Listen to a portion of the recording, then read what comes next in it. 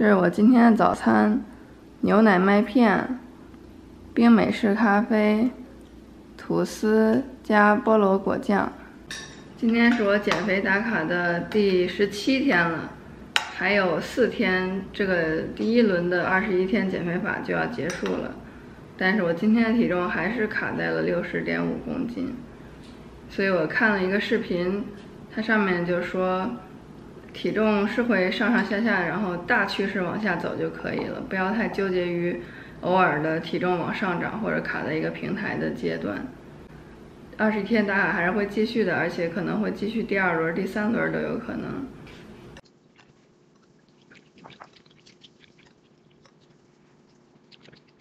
嗯，今天下午吃一根玉米，还有一个 Meta Miso，好烫啊！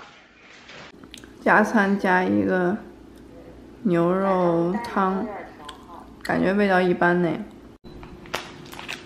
吃一个 School Safe 香蕉蛋糕。